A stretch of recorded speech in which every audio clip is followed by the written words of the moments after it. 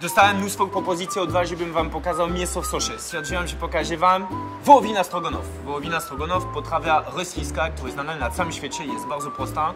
Robimy ją.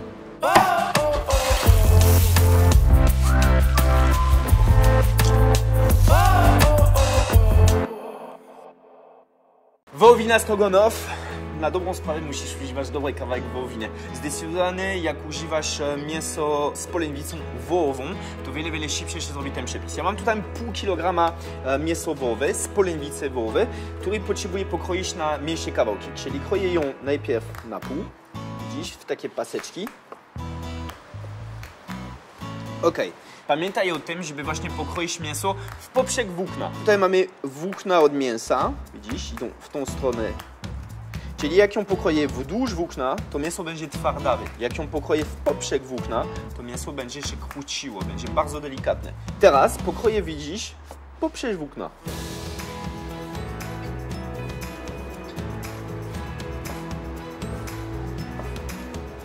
Mięso wołowe jest pokrojone w drobne paseczki. Jak widzisz, bardzo rozgrzany tłuszcz i podsmażę mięso z każdej strony jakieś jedną minutę.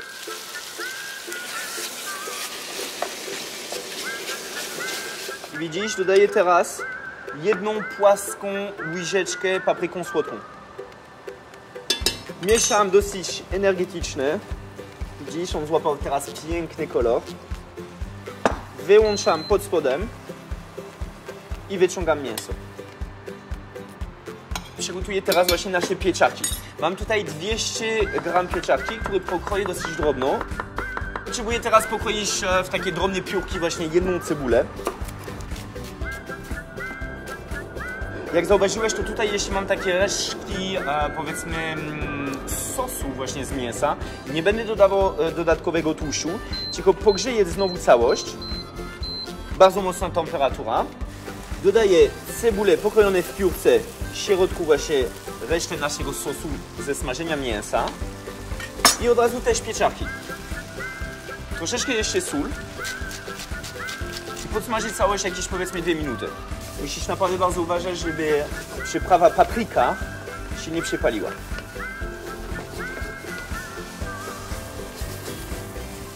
Dodaję do środka teraz jedną łyżkę koncentratu pomidorowy, nawet i półtora. Dodaję jeszcze szczyptę cukru i dodaję troszeczkę właśnie papryką słodką. Hop, widzisz, ona już nabiera piękny kolor. Mogę teraz dodawać do środka, żeby zgasić właśnie tą temperaturę, troszeczkę białego wina, wytrawnego. Jeden kieliszek. Zobacz, mamy naprawdę piękny kolor, piękny sos. Tak jak jest teraz, dodaję właśnie nasze mięso wołowe z powrotem do środka. To jest e, moja wersja na stroganow taki ekspresowy, mogę powiedzieć. Bo zobacz, on jest prawie już gotowy. Jakbyśmy używali inne mięso wołowe, to znaczy nie polędwicą wołową, to wiele, wiele dłużej byśmy musieli po prostu przygotować naszego stroganow. Pamiętaj o tym, że jak e, lubisz właśnie moje przepisy, to koniecznie daj mi kciuk do góry, no i zasubskrybuj, jak jeszcze tego nie zrobiłeś. Mam nadzieję, że ten przepis będzie Ci się podobało. Posłuchaj, potrzebujemy jeszcze podgotować naszego sosu jakieś powiedzmy 5 do 10 minut. Będę dodawał do środka teraz śmietaną 36%, jedną taką czułatą łyżkę. Obniżam koniecznie ogień, żeby to się nie zważyło. I dodam jeszcze troszeczkę musztardy, dzisiaj miodową, ale mogliśmy dodawać ostrą Dijon. Tak jak jest, mieszam całość. Ta musztarda miodowa na, naprawdę dodała taki piękny walor jeszcze sensoryczny, to znaczy pięknie pachnie. Obniżam ogień i tak jak ja Ci powiedziałem, to zależy jak chcesz mieć sos właśnie do Twojego. Czy bardzo rzadką, czy troszeczkę bardziej gęstą. Musisz liczyć czas gotowania jeszcze między 5 do 10 minut jeszcze. Całość podgotowałem dokładnie jakieś 5 minut, doprawiałem solą i pieprzem. I teraz to jest dowolne. Możesz dodawać do środka na przykład takie paseczki właśnie z ogórki, a na przykład konserwowy albo mało solny, jak wolisz.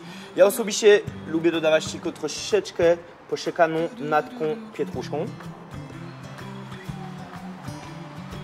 I mieszam całość. Można serwować e, stroganow z różnymi e, po prostu dodatkami, na przykład e, z makaronem, z ziemniakami. Ja osobiście uważam, że dobre pajdę chleba jest też idealne. Czyli w miseczkę dodaję teraz naszą wołowinę stroganow. Spróbuję. Mm. Idealne. Jest to słodki. Jest to bardzo delikatne. Mięso nie jest takie żadne elastyczne, ona się rozpływa w usta. Czuć białe wino, czuć papryka oczywiście. Możesz zawsze e, dodawać też troszeczkę papryką ostrą, jak, e, jak chcesz. I cóż, kolejny prosty, banalny przepis na moim kanale. Koniecznie komentuj na dole i do zobaczenia, pa!